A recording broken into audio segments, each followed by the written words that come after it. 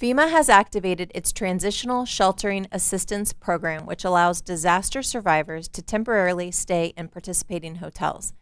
Visit disasterassistance.gov and click on Transitional Sheltering Assistance Program to find which hotels are participating in the program. Ida survivors in all 25 declared parishes can be eligible for rental assistance or temporary housing through FEMA's Individual and Households Program. This assistance can be for a rental house, apartment, hotel, or recreational vehicle and includes essential utilities such as electricity and water. FEMA does not pay for cable or internet. Individuals and households who have immediate or critical needs because they are displaced from their primary dwelling may be eligible for the Critical Needs Assistance Program, which covers food, water, prescriptions, medical supplies, and other life saving and life sustaining items. Critical Needs Assistance is a one time $500 payment per household.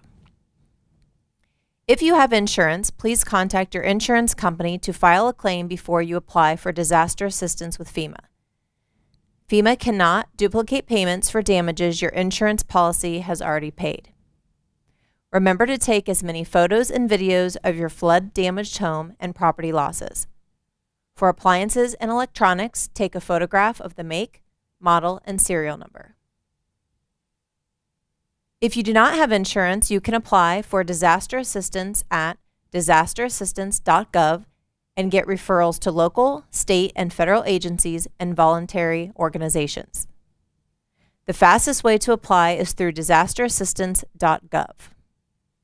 You can also apply by calling 800 621 3362 or through the FEMA mobile app.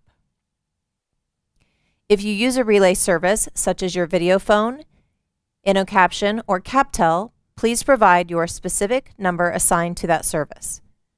It is important that FEMA is able to contact you, and you should be aware phone calls from FEMA may come from an unidentified number.